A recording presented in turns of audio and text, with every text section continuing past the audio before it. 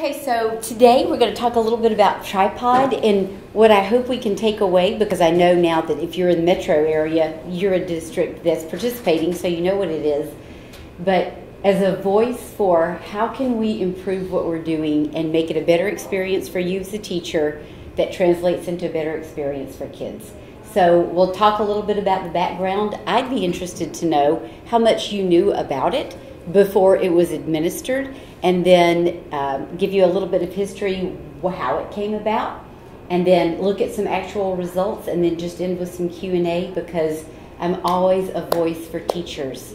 I like to take back what teachers say about their experiences and for people who listen to try to make our work uh, more meaningful. So let's take just a quick minute and let me just hear from the folks who are not in a district not metro in Lynchburg, did you do the tripod?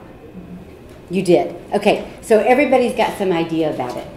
So I don't know if you feel like this, but when, te- when people talk to me about my work in education, I say, my, my job performance is literally in the hands of adolescents, literally in the hands of middle schoolers. And I tell my kids that.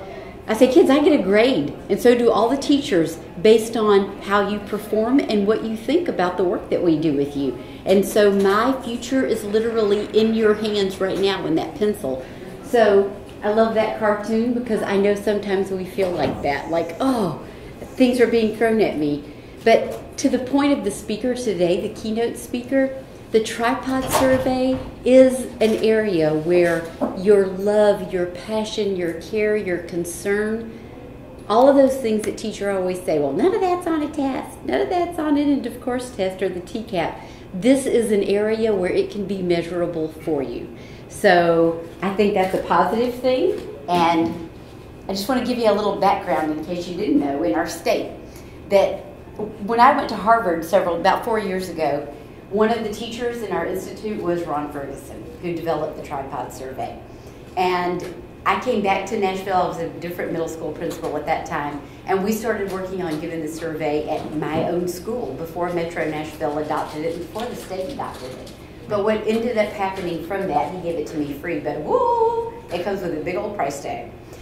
But in 2013, 17 districts in Tennessee said, we're going to take this and pilot it. The next year, there were 19 schools that used it as part of evaluation. So 22 total said, we're going to play with this survey and see what it looks like. 19 of those 22 decided to use it as part of a teacher's evaluation score. So the state board said up to 5% can count towards the qualitative part of your score. So the 50% that comes from evaluation, either from a principal and now not just from the principal, but from kids.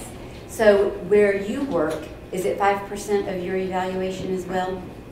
I don't, I don't think so. Okay. Do you think your district's just piloting it? Okay. So what we know from the state's perspective is they want promising practices. They want school districts to innovate know, they don't require every district to use team. They don't necessarily require that you use tripod, but they want districts to get multiple measures of effectiveness on teachers. And so they will allow a student survey to count as part of evaluation, and they consider that part of innovation. So if you look at the state website, they're really supporting districts that are using all kinds of different measures. So really, when we talk about teacher effect, the tripod survey is not meant to measure content, but it's meant to measure what was it really like for me as a kid to be a teacher with you day in, day out, every year. So we know that a tripod is three different pieces. So the tripod survey deals with the, the nexus, the mix of content, pedagogy, and relationships. So the tripod is all about how did the kid feel? And when we talk about teacher effect in measuring performance, it's not just that snapshot in time, but it's the enduring power that you have to shape a child's future. So we know that they might forget what you taught them, like you'll forget the math formula, or you'll forget what part of speech was, but they will remember how you made them feel. So it's really what we've known from um, the Gates Foundation was they did a huge amount of work in Memphis schools. And they were one of the first seven school districts in the country to pilot the tripod. And so they saw that as cutting edge in terms of reform, education reform. So just to get a snapshot of what it might look like across our state, in Chicago in 2013, tripod survey was 10% of a teacher's evaluation. In the Achievement School District, do you know what the Achievement School District is? Okay. In Tennessee, the lowest performing schools, about the lowest performing 10% of schools, are administered by sort of like they're, they're like their own school district, no matter where they are geographically. And they have their own superintendent, Chris Barbic, who lives in Nashville. In those schools, it counts 15% of a teacher's evaluation score if they are a non-tested teacher, you know, if they don't have a core content reporting their own scores, it's no, flip that. It's 25% if you don't have your own TVAAS. It's 15% if you do. So if you were a related arts teacher or a non-tested teacher, these students surveyed would be 25% of your evaluation. Now, I don't know that that's the way that will go in every school district, but I know that there's a lot of research around the importance of doing that, and we're going to show you more about that. So the test scores are really to show us when a kid's not learning content. What the tripod can do is answer why. For a teacher to say, ah, why aren't my kids performing? What did I do wrong? I thought I covered everything. Maybe this is part of why kids don't perform or why we don't see growth. It's that piece that's not about the content. So we're just going to take a quick listen to some voices from Cambridge. And that's who's developed Tripod. So I'm going to have two little videos for us to watch today.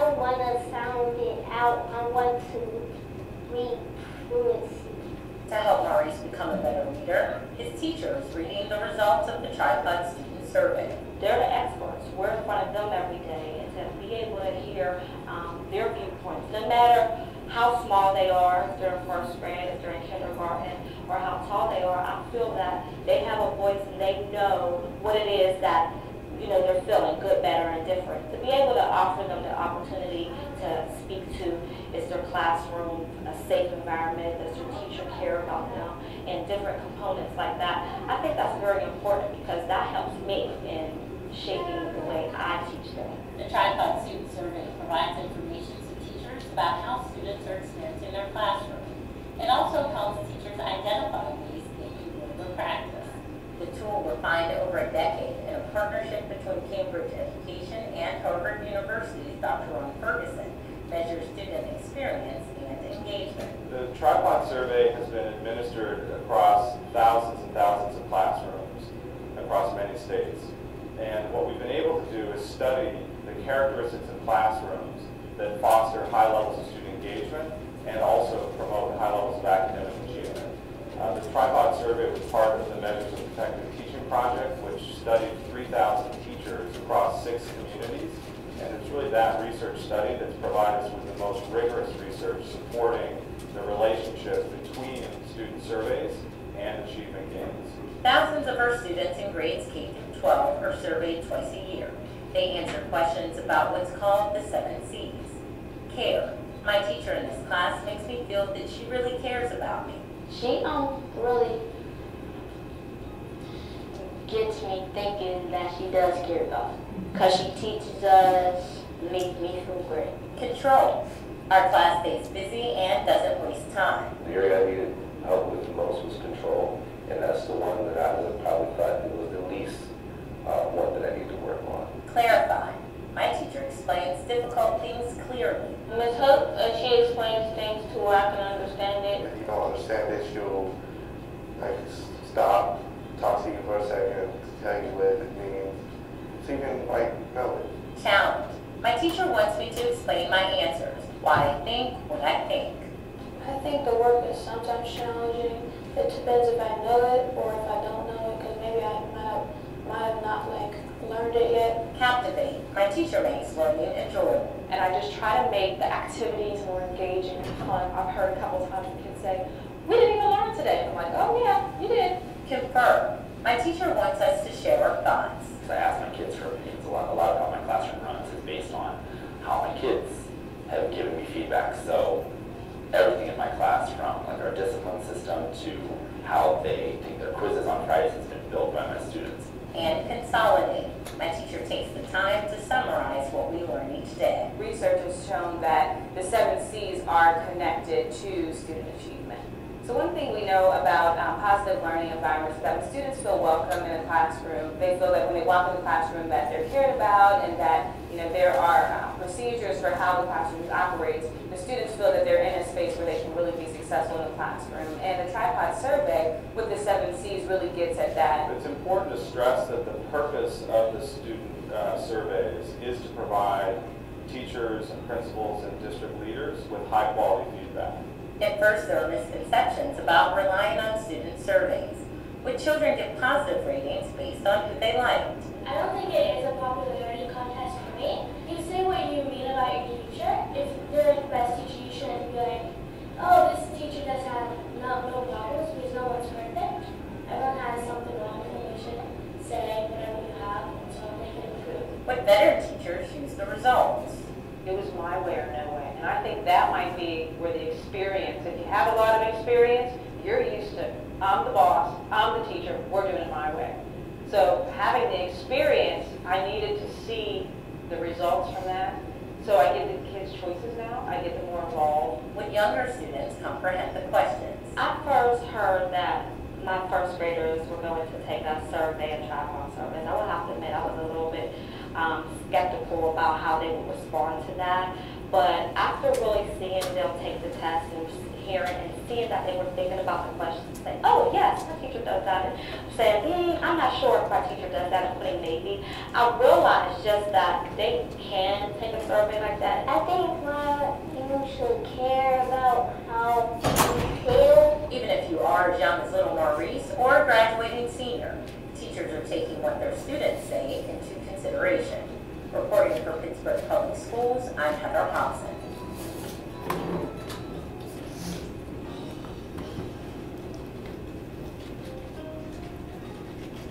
Okay, so um, for those of you who are in a school that's using these, just on a show of like fist meaning none, five meaning complete, how much professional development did you get around tripod? In other words, how much discussion, let me just start with how much discussion was there from your principal to you about the tripod survey, with this being none to five being we did it like crazy? Okay, I see like a one and a lot of fists. Okay. Fair enough.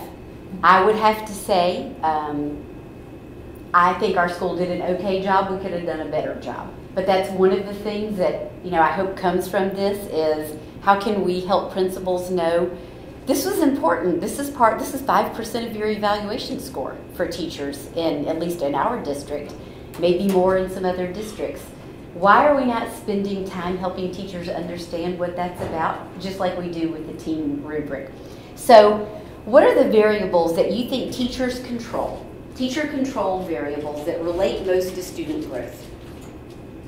Just give me some. variables that have to do with you that would determine how, what- how much growth score a kid gets. Culture. Okay, competence, Culture. culture that you create in your classroom, about years of experience, highest degree attained. Those are the things that we, those are the things that we pay teachers more for, aren't they? Higher degree, how much longer they stay, how much, how long they've been in a district. But what we know from Tripod is that when they, they took in the research, and this is robust research, it's been done year after year after year after year, it's coming out of Harvard, so it's not just second rate. When they looked at math teachers, and they looked at the difference in student performance in those math teachers' classes, the teachers that had the highest tripod score ratings outscored the teachers who didn't do as well on tripod. So assuming everything else is equal, same amount of experience, same degree, the indicator that was related to higher achievement was a tripod score. If you looked at, well, what about teachers who have a master's degree? They're averaging about a month's more gain. So, you know, if we're looking for in the state of Tennessee, a year's worth of learning to be average. We expect every teacher to move the kids ahead one year's worth. If you have a master's degree, statistically, you would take them ahead a year plus a little bit. But a high tripod score is generally equating to about six months more learning than a teacher without a high tripod. So if you looked at, for example, Teach for America, which especially in metro schools and a lot of urban school districts, we're really using a lot of Teach for America because the research is clear. They get better gains than most traditionally trained teachers in the districts that they work in, urban school districts. There aren't Teach for America teachers in suburbia for the most part or in rural counties. But that measure of being not just an effective teacher, but a highly effective teacher can be highly correlated to scores that teachers get on tripod. And that's something that you can control. That's a culture thing that you can create in your classroom. But how intentional are teachers going to be about that if they didn't even know what was going to be on the dadgum survey to begin with, much less they didn't talk to their kids about it? Oh man, I'm a big believer in showing that stuff to the kids. As a matter of fact, last night I was talking with a teacher, the teacher of the year, and we decided wouldn't it be cool if kids, if teachers would show the kids, and you'd have to modify it depending on grade level, what was in the TEAM survey? What was on the TEAM evaluation rubric? Like when the principal comes in, what are they looking for? Just think how much your kids could help you and hold you accountable day in, day out. If you said, these are the things I'm being graded on, we tell, we give the kids rubrics all the time to score their work. We want them to be successful. We tell them, this is how I'm going to hold you accountable. This is what good performance looks like. What if we did the same thing with this survey? Or what if we did it with team and let kids be part of helping us and holding us accountable day in, day out? So, what do you think the variables would be from kids and how they rated teachers? What kind of differences among kids might account for different scores? Well, compatibility is probably a high one, how well they get along with the teacher. Okay? So maybe their personalities, your personality. What else?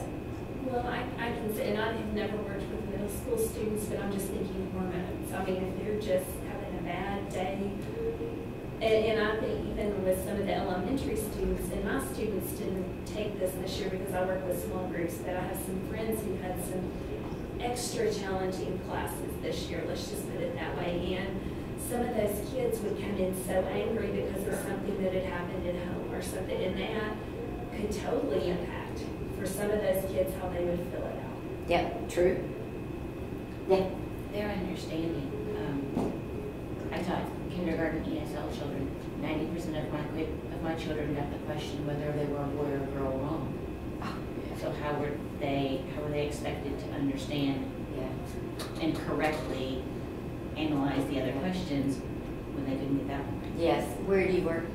Oh, well, I did work at Metro at, Haywood Elementary. Haywood Elementary. Okay. um, I worked at Overton, so my husband works at Glencliff, very familiar with the EL kids. As a matter of fact, in, in the high school version, there were like 70 questions. It was very, very long.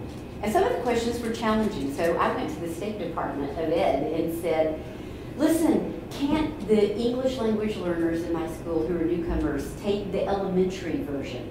Linguistically simplified, they all measure the same seven attributes. So what wouldn't it be more fair to the kids and to the teacher and you'd get a better realistic snapshot? And they, uh, they wouldn't let me. They said, well, um, the kids can take it in Spanish. I said, well, we have 36 languages spoken in our school, so that ain't gonna take care of most of them. Um, what else you got? And finally, they said, well, if they're a newcomer, they can, they don't have to take it. I said, that's not fair to that teacher.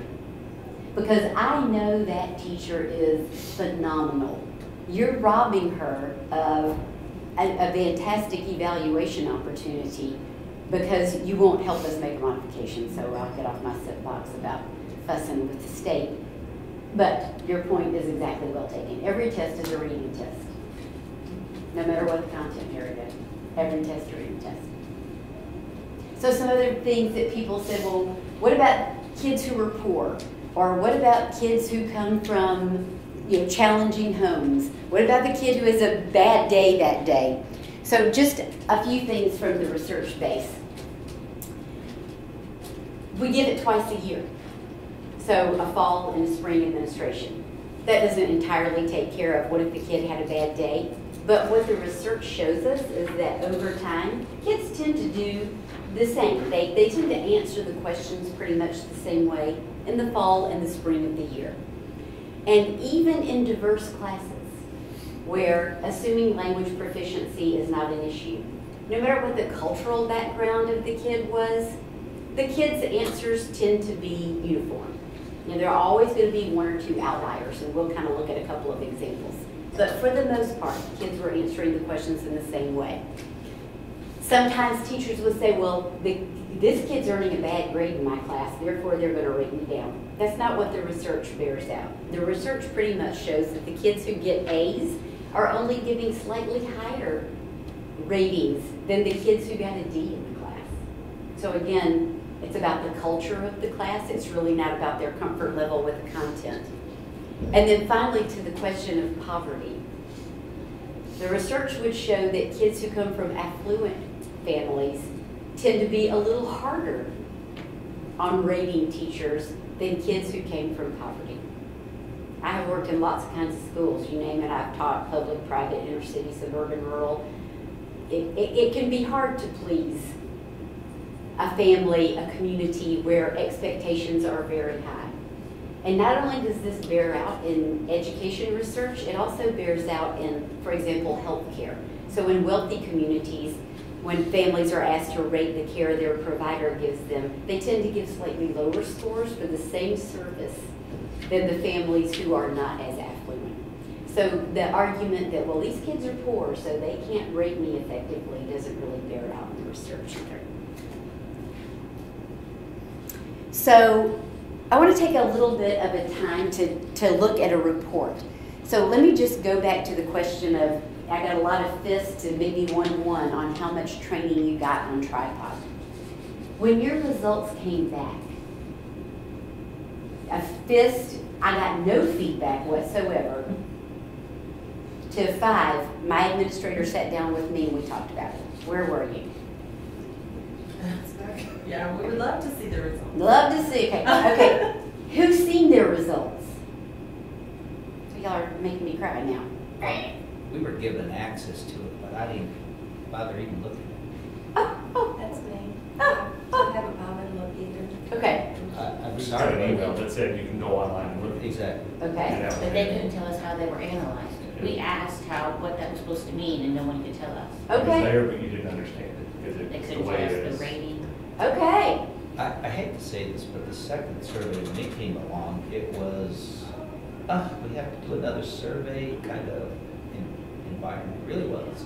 Yeah. It, it, and it was not just us teachers, it was from top down almost. Yeah. Uh, When my kindergartners took the second one, we had had, that was the, I think third, maybe fourth survey, Yeah. test, fill in the dot, ABC as kindergartners that they had had within like a three-week time span. And they're just like, ugh. Yeah. They just circled whatever they wanted. I mean, they got so tired of circles at the end of the year. We had a lot of surveys this There year. are only five. I, I know. I mean, there's, test fatigue is genuine. I get, I, I know. I had hoped, you know, as an administrator, I don't like going to classrooms when it's happening because you don't want to influence kids. But I kind of hoped with another teacher giving it to kids, you know, that it might have felt a little bit more like a conversation about how they felt and a little bit less about content. But I totally understand. It's another set of, you know, bubbles to fill in. So, But I, I do think if you're gonna, if like a lot of them are gonna have to, if it counts a certain percentage of your evaluation, I think that second test needs to happen. Because, I mean, the first one was in the fall and you just got started. yeah. And a lot of that relationship and respect, you know, yeah, you, you work on that the first few weeks of school, but also throughout the year, you see more, you know, Yes. that kind of thing. Yeah. So I think that second one was important. Yes. I would prefer to have it done twice if you're gonna have it done and account for that. Yeah, agreed. And it, it takes away that, oh, it was a bad day. Right. Or, Yeah. you know, we just came out of a pep rally and now you're giving the kids this test. You know, it, it equalizes a little bit. Well, then let's, I'm going to share some scores with you. I, I'm, first of all, let me just say, my school with my teachers, I printed out, I sent them the link as well, and then I thought, this is what's, what's going to happen, is they're going to get an email and they're not going to go do anything with it. And you know what, everybody's got a lot to do. So shame on them if they don't, shame on me though, as their leader if it's important, if I don't. So I printed off everybody's results for them. And then I took them to an academy meeting time and sent them ahead of time just a reflective piece to fill out. What was the area that, what was the construct that you did best in? Which one was your lowest? What do you think explains that? What do you think you'll do differently next time? How can I help you? What can I do to support you? And then I just ask everybody to give that back to me, and we just had a quick conversation about it. That's what I did in my school. Um, I, I wish every principal would do that, but okay. So I'm going to give you some some reports, and if you've not seen them, this is what all principals and you have access to in the state database that prints out a score. And then I'm going to walk you through, just like I did with my teachers, how to interpret a report. Okay, so there is no teacher identification on this. These are real results, though. And I'm going to mix them up. These are two different kinds of people, teacher people. And then we'll, since you've not seen one, we'll go step by step how to interpret one. I'm so sorry y'all didn't get to see me. Woo-hoo, I'm useful for you today.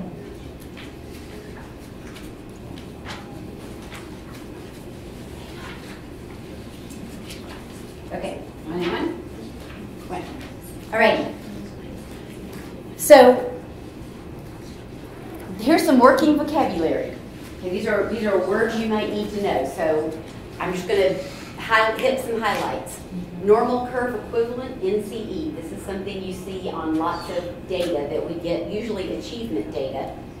But almost anything from the state's going to have a normal curve equivalent. The word construct, that refers to the seven C's. Distribution, how the scores fell, like a normal curve. Favorability rating is going to be overall how many, think of it in this way. It's like proficient and advanced. You know, when we, we lump those together as kids passed, favorability means kids answered, yeah, the teacher's good at this or really good at this. Reverse coded questions. Generally, the teacher, the question would say something like, my teacher explains things in a way that I understand. And then the kid would say, sometimes, maybe, never. Reverse coded would be things like, my teacher doesn't explain things well. And then sometimes the kids don't catch that it was reverse coded. And then they, they, they're always answering high. Like, my teacher's awesome, she rocks, I give her five everywhere. And then on a reverse coded, they scored a five again, and um, that was a negative. So those are some items. And then comparability is obviously to do with comparison. Okay, so those are some. Five years old, that reverse coded question is most difficult. I, it is. When you are five. It's That's hard when they're 15. when. I know. It is true. And I, we're not sure why they put them on there. You know, there, there should be a, why can't they just change that? I don't know. Yeah, a friend of mine who's a kindergarten teacher was telling me one of the questions for the five-year-olds was, my teacher pushes me to, and it was something like to excel or think or whatever. Well, the kids were hearing, my teacher pushes me. Yeah. And so, of course, they're gonna put no. Yeah, I, yes. there are lots of stories, like for EL kids. The, the one of the questions was, my teacher is like treats me like I'm part of her family.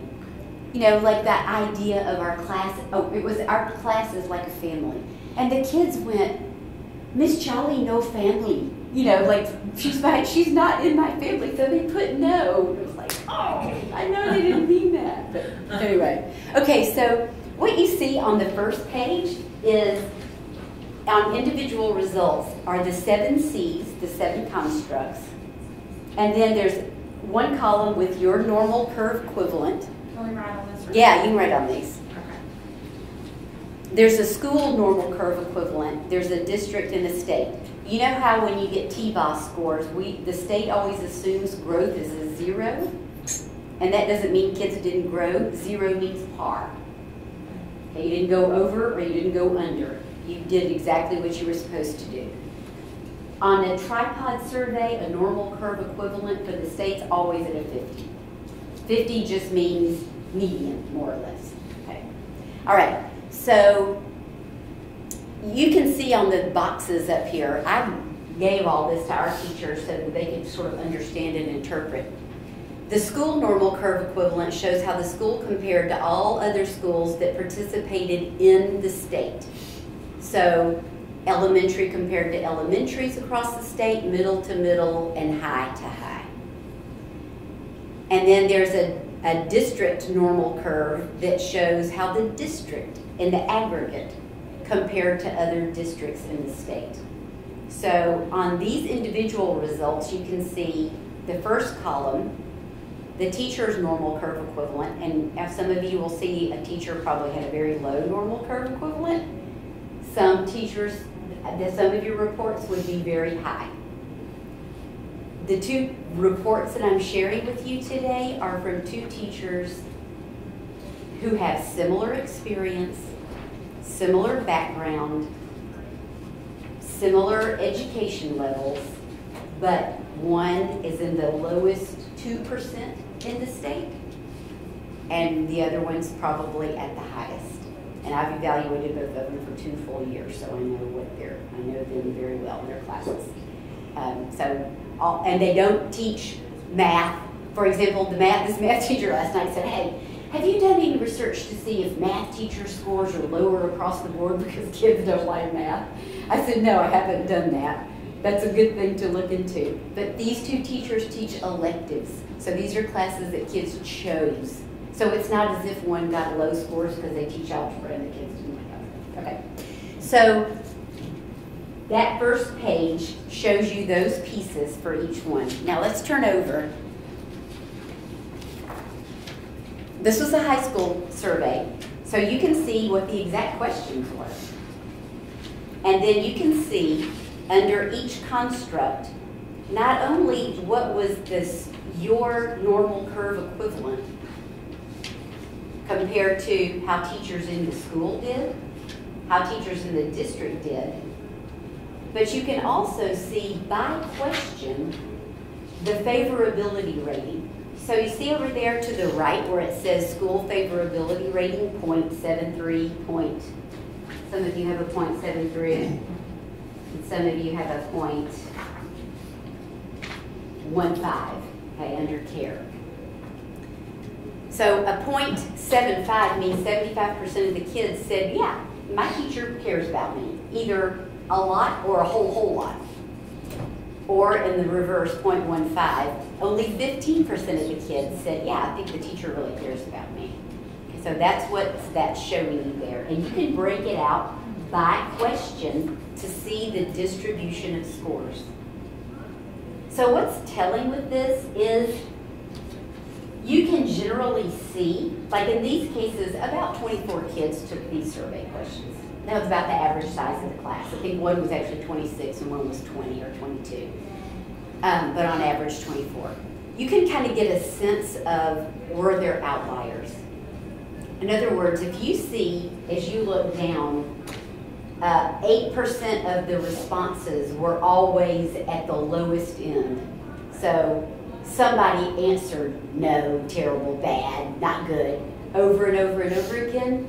It's probably the same kid. It was probably that same kid who was hated you for whatever reason or was in a crappy mood that day. And, and so you can you can get a sense of eh, that that's one kid over and over again who's always just bubbling down went straight down and made bad marks. It's probably nothing wrong with throwing out the outlier. Likewise, you might see that on the other end. There's that kid that just thought you were the best thing ever and rated you super high all the way across. And then as you go through on the reverse coded items, you can kind of tell, you can see if somebody just Christmas tree and went straight down without reading. Okay, so that's what that shows. And there again is the favorability rating explained. If the question was mostly true or totally true, that's how they determined favorable responses. You didn't get extra points if somebody said totally true. It was those two lumped together.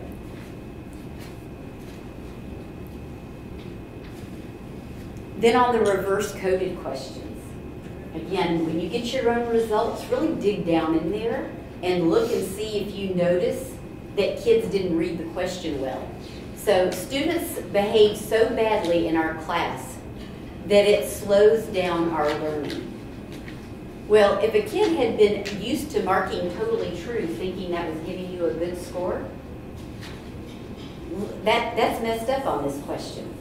Because you want them to say, no, that's not true. Because it's stated in the negative kids behave so badly. No, that's not true. So their answer should have been under totally untrue, where they've already answered 15 questions or 32 on the high school survey where they were saying they were marking on the opposite end. So I tell you that now to know as a school staff, when you go back to school next year, have some deliberate talk with your staff and with your kids about paying attention to reverse coded items.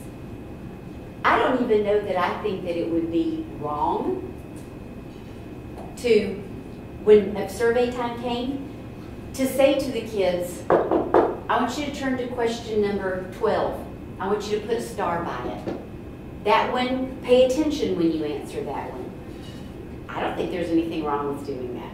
If it's going to be 5% of your evaluation score, oh man, be selfish don't cheat, but be selfish. Advocate for correct responses. That's what I'm saying.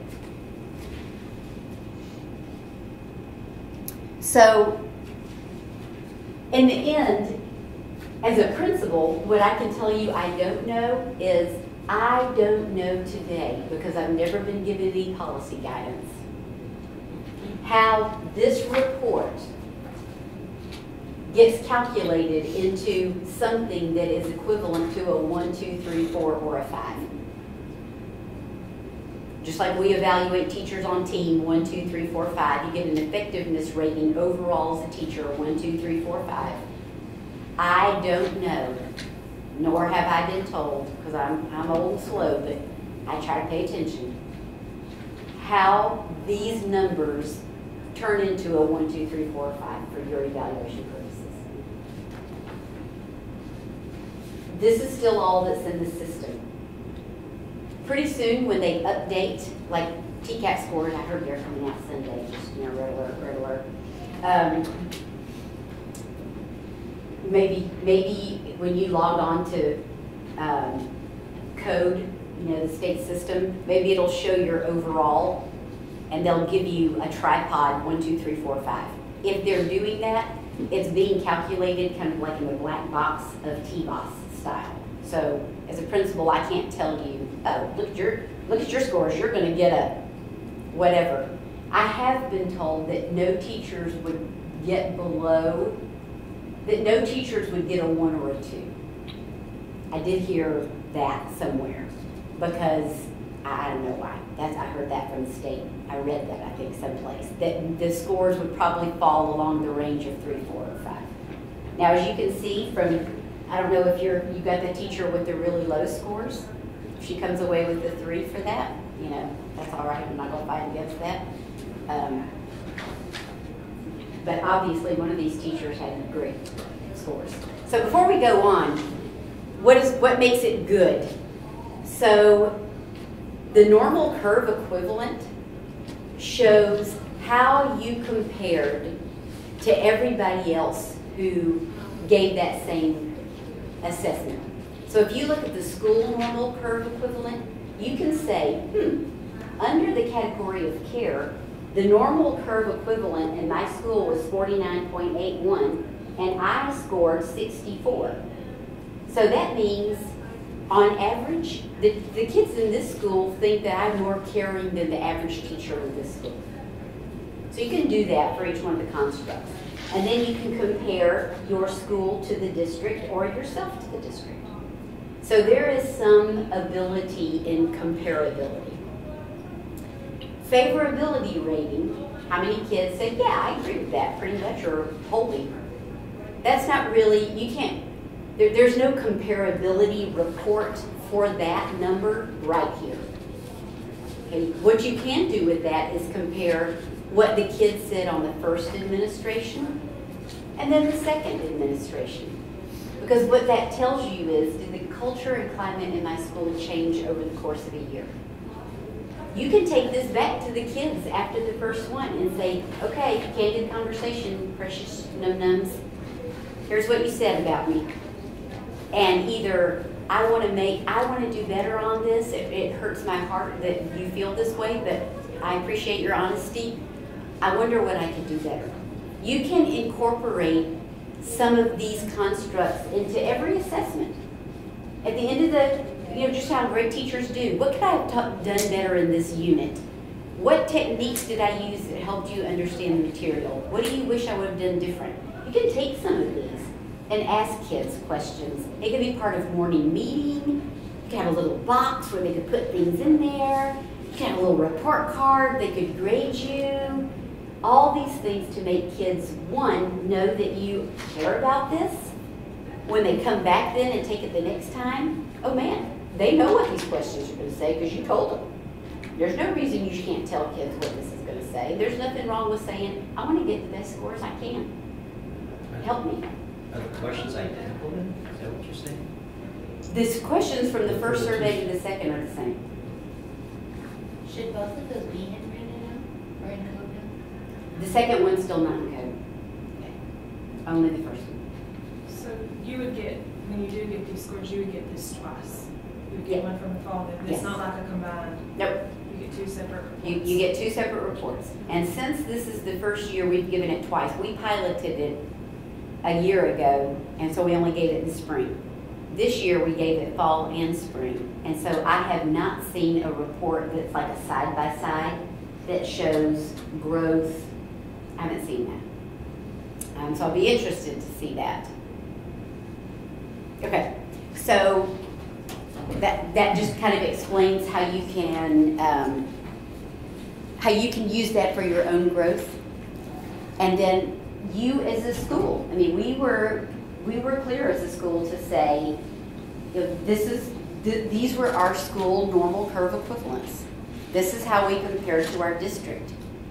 You know, what are we doing as a school to improve? What are we doing as a school to address this? So leaders, whether or not your principal takes this by the horns and does something with it, teacher leaders are where it's at. Don't, don't be afraid to say, and we did at, in my staff. I said, does anybody just want to share candidly their results? And I had teachers who said, yes, this is what I got in this area, and I, I'm shocked. um, what we did was we did affinity groups. So what was your highest? We had people get together and they talked about what they did. What was your, and then we all laughed over, like, these are the teachers that the kids say are mean, you know, because they have these off the charts under control. And then, what was your lowest? And we, we just had candid conversation about, oh, this is probably why, or, you know, what do you do? How did you get that high score? So it was very healthy and very normal and very transparent, and it was totally teacher led. Like, I didn't make anybody do anything, I just facilitated a structure. So if nobody's doing that in your building, go out there and do it in your building. Okay. Um, do, do you have some questions or some feedback? How am I on time, JC? What time is it? Uh, five to eleven. Okay. Let's just do a little Q and A. Got one more video, but I don't think we need to watch it. So for us who have not received anything, Yeah. we just would go ask our administration. Go, go in code. You know how to go in code and look at all your observation scores? Yeah, I did that last year, but I forgot how to get in there. Try to remember how to get in there. Okay. What do you, where do you go to? When, when you go to code, where you looked at your observation scores, it should be right in there. I mean, you should see a link that you can click on. There might be a tab that says reports, because this is a PDF that you'll download and print it off. They, I don't know if there'll be a score in there, but there should be a tab that says my reports, and then you should click on it, and there'll be a PDF, and you can see it. What do they do, this is just different things about challenging What do they, they do with the questions at the end that are about, like their home life? You know, how many people live with you? Do you have computers? Do you have TV? What do they do with that data that's on there? Yeah. That's not part of, that's not calculated as part of your tripod score for evaluation. That data, know, I'll give you my, it's grant related usually, and it has to do with helping school districts um, often qualify for grants. So Because the kids ask, the kids are like, why are we answering questions? How many people live in our house? How many? They're like, that doesn't deal with our teacher. Well, I talked with other teachers that were young mothers, and they felt like, I don't want my children answering things like this. This is a little bit nosy. They don't need to know that. As a parent, As a as parent, a parent, what rights do we have to even know that this is, these Oh, questions I are being asked? They were not happy. And, and that's, and that's my question to, you know, to anyone to answer. Yes. Because I'm, I'm not here as a teacher, I'm here as someone who's running the school board. And I do have children in public schools. And I am the daughter of an educator, and I'm concerned. yeah. And, and I want to know what transparency there is to parents on these types of questions, because to me that's intrusive. Right. Now, do you think these tripod questions are intrusive, or are you referring to the how many people live in your home? I'm referring to some of the personal Yeah. type questions. With regard to the tripod one, it's more of, okay, well, this is one more, one more test. And then it's how many tests are we teaching and coaching our kids to as opposed to truly instructing and allowing each child to live up to their full potential? Is this just another distraction? And is it another distraction for teachers versus unlocking the full potential of these kids? I understand we need to have measures and metrics and accountability, but it seems like we've gone just far overboard. I, I will say, you know, somebody who works in a school and manages the giving of the test, um, we were giving a lot of formative assessments. So we were, you know, TCAP or end of course test are high stakes testing in a small window of time. The tripod survey is about a 45 minute survey twice. So that in itself is not too bad. It was all of the other intermediate, interim assessments that we were given over and over and over when teachers could do what I like to call micro assessments, which are just in time assessments, two or three or four questions related to content mastery that don't require the world to stop turning and everybody to get out there sharpen number two pencils and we're not leaving the classroom because we're locked down to test. We need to do a better job with that. And we can do a better job with that. Because the frank truth of the matter is, teachers are the best predictors of what kids are gonna do on an end of course test. You know, you're teaching them the material every day. It's generally not a shock when your scores come back. And there are ways that we can assess if kids are on target without stop and bubbling and bubbling and bubbling. So I think if we did more of that, and we put the testing calendar out there at the beginning of the year and said, this is what's going to be tested, I'm, I want my parents to know. I'm, I'll have an open house. I'll tell you all about the tripod survey. I, I, I think that it's healthy for us to give this. Uh, but I don't want parents to feel ambushed by, what, another thing that's coming? So that's communication piece. And then internally, it's doing our job the way that I think you would say teachers do their job naturally. Is, do you really have this? Come on, we're gonna walk down the hall and we should tell them everything you know about nouns, about nouns. Okay, I think you got it. We don't need a, yeah. I can fix all that for them, didn't His point is, because when children, just like as an administrator, when your staff feels valued, they perform better. And that's in business, education, whatever field. The same as in the classroom. When the students feel valued by their teacher, which is the point of this, I get that, I understand it, it's relying on feedback. I just feel that there is a much better way to do it than bombarding children with another test. Um, You know, if it's about feeling valued, could it not be a conversation? Granted, I know you can't assign a number, but our children aren't numbers, they're children. Yeah. Uh, And, and that's from a mother of a kindergartner and a kindergarten teacher. Yeah. And I feel like it's extremely intrusive. I don't feel like they were very transparent at all. I think they were very open about this is about how your teacher makes your child feel. There was no mention of any of the questions, the demographic questions, the nosy questions. It's kind of like they just snuck it in there. thinking, I agree. You know, we know it's about the teacher, but yet we're throwing these in there, the parent doesn't. Yeah. You know, And it's that kind doesn't really build trust within the public schools and I parents. agree. Especially, especially at a school like Haywood, the parents already kind of, with that language barrier. Well, right. And they're, they're already like, wait a minute, they're asking Right. these questions about our Right, house. and they're here without documentation. And it makes them even more standoffish because now they're like, they're trying to I got it. sneak in things about our lives Yeah. that maybe they don't want to tell us. I, I agree. Okay, I think we're out of time. Thank you, thank you so much. I hope it was helpful. I hope you got some good information. And if you want to go to this link, you know, just Google it Cambridge and tripod. Lots of really good videos. Show them to your teachers at the beginning of the year. They'll they'll say, "Yay, you us something we didn't know." Thanks.